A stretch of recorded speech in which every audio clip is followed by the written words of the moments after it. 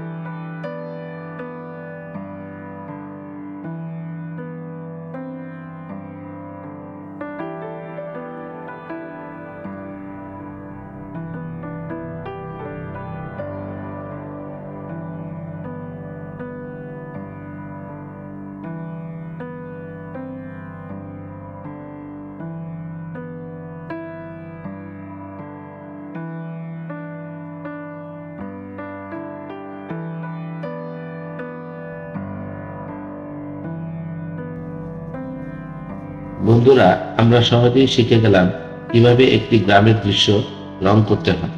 তাহলে আজকের মতন এখানেই শেষ করলাম। দেখা হবে অন্য ভিডিওতে।